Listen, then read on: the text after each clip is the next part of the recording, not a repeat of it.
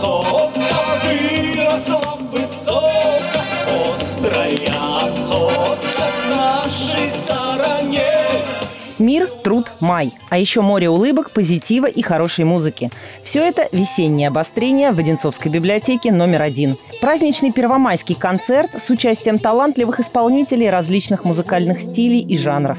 Это все мое родное, это где-то в глубине, самое святое, что осталось во мне. Концерт получился интернациональным. Наряду с патриотическими песнями о России звучали жизнерадостные испанские и итальянские мотивы. Guarda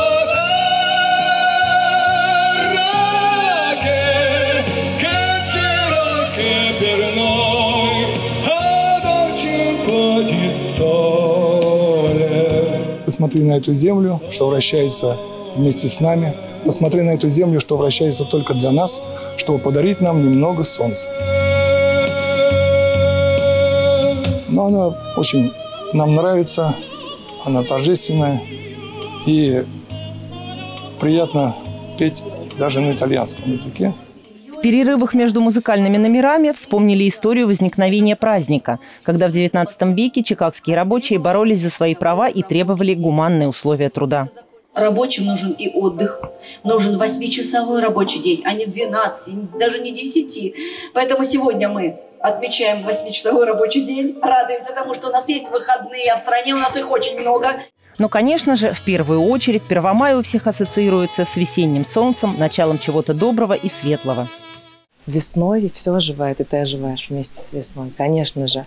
А, музыка вокруг, а, радостные лица, улыбки. Можно снять э, тяжелую одежду с себя и полететь, полететь, полететь. Весна – это просто у меня сейчас просто крылья растут и растут. И, может быть, даже не знаю, куда их девать. Наряду со взрослыми профессиональными музыкантами на сцене выступали юные дарования. Сотрудники библиотеки также не остались в стороне и подготовили для гостей музыкальные и поэтические номера. Когда на небе звезды тают, и над землей летит рассвет, Лишь он не спит, а подметает Уж много сотен, тысяч лет. Музыкально-поэтический праздник не забывали разбавлять весельем. Конкурсы, шарады, веселые истории со сцены, а на задних рядах – настоящая дискотека. Полина Толмачева, Артем Ломоносов, телекомпания «Одинцова».